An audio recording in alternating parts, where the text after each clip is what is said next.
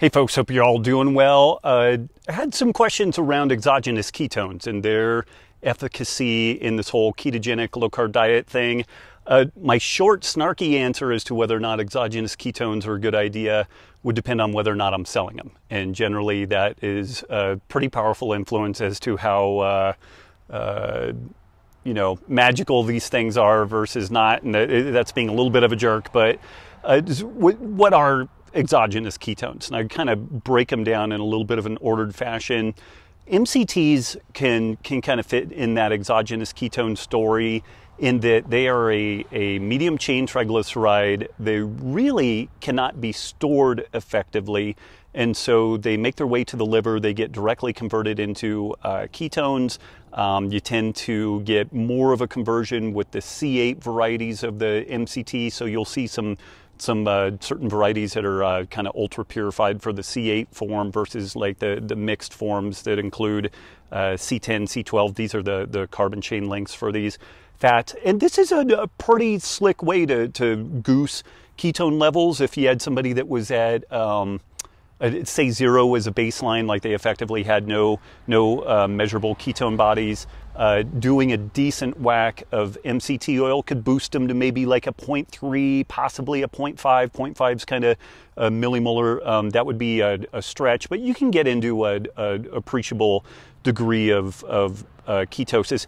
But again, this is from adding excess calories or, or at least outside calories outside fat. So that, that's a thing to keep in mind and be kind of a, a theme here. So the next layer of the exogenous ketone story would be ketone salts. And these are typically beta hydroxybutyrate associated with um, different uh, uh, mineral salts, uh, usually a mixture of calcium, magnesium, uh, sometimes potassium, but also sodium. Like it's, it's typically calcium, magnesium. You mix up a dose of this, shoot it down, um, the salts dissociate, the beta hydroxybutyrate goes into your system, and you can again get a, a, a reasonable boost in ketone levels.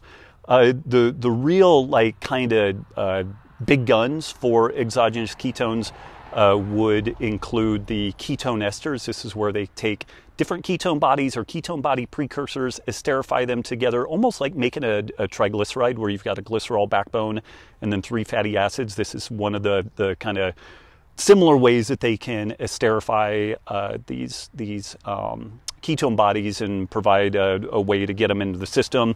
They taste pretty gnarly, like people equate them to jet fuel or kerosene or something like that. They are incredibly powerful. They can boost ketones up into the uh, uh, nearly starvation ketone level, like uh, uh normal dietary ketosis. You'd, you'd think, you know, something around like 0.5 to 1.5. When we start getting into longer term fasting, a ketogenic state, maybe 0.3 up to about 0.6. You can get up around 0.6, point, or, or excuse me, not 0.6, 6 molar, millimolar, 7 millimolar with the, uh, the ketone esters. So they're very powerful. All of these things are fantastic tools. But like any tool, you've got the right, the right tool for the right job. If your primary goal is fat loss, all of these things are just introducing fat, or, or, not necessarily fat, but calories from the outside. All of them have a caloric load, all of them count with regards to calories. So you need to think about how you're going to use these things. Now, generally, I would recommend that you eat a, a nutrient dense, adequate protein, um, you know, properly formulated ketogenic diet. Now, in the case of the MCT oil, there is some uh, research that suggests that you take a basic meal, and this has, has uh, had some decent research done. Take your basic meal, substitute some of the caloric content for MCT oil, about a tablespoon, tablespoon and a half, and you consume that meal. And the combination of both the, the low glycemic load carbs and the MCT oil and that, that uptick in, in uh, ketones from that meal seems to reduce the total number of calories that folks eat later in the day. So there's arguments for using this stuff. Um, uh, if you are early in the, the ketogenic scene, um, I could maybe make an argument for using a little bit of MCT oil, a little bit of uh, the ketone salts to help just kind of get you over the hump. Although I would say that getting your electrolytes on point helps far more and is far more important, and people make a mistake on that far more often. So uh, I will do a, a, a, video on how to properly tackle electrolytes here in a bit. But you know, the the exogenous ketone topic is is an interesting one for me because. And, and I'm, I'm, I'm all for commercializing things that are effective. I'm not one of these like anti, you know, make money off of stuff. But it, that said, um, people spin a pretty good yarn about this stuff and they, they sell them in a, a way and create a narrative, narrative around them that really isn't honest and isn't telling a, a full story. And so these exogenous ketones have great therapeutic potential. I think for things like traumatic brain injury and different specific medical conditions, they could be just an absolute godsend.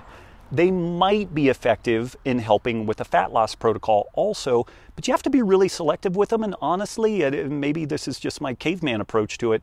I would prefer if people just focus on a properly formulated ketogenic diet, like what you would get out of the Keto Masterclass, like what you get from Ketogains. Focus on your electrolytes, make sleep your your priority like like you know you you would kill someone to get to get the type of sleep that you need. And these things are going to deliver the goods in a way that uh, no supplement can ever do. So i hope that helps to clarify a little bit about uh, you know this exogenous ketone topic. Please send me your questions. You can track me down on instagram at das robb wolf uh, you can go to robbwolf.com hit me at the contacts page fire off your questions. I'm always here to help